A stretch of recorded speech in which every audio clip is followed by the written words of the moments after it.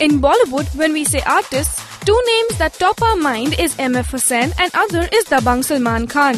Since we are a hardcore Bollywood portal, updating our viewers about Bollywood stars is what our ultimate aim is. And therefore, here we got another news of superstar Salman Khan. We all know that glam doll Katrina Kaif was a special person, or shall we say, is a special person in Salman Khan's life. Salman Khan, who is known for putting all his special and loved ones on canvas, which includes ex-flame Aishwarya Rai Bachchan to Ghajini Aamir Khan, surprisingly has not yet painted Katrina Kaif on canvas. Katrina, otherwise tight-lipped about her personal life, looked quite comfortable in revealing the fact related to Salman Khan. When asked about her painting skills, she revealed, Well, Salman, if Aishwarya can get lucky, then why not Katrina Kaif?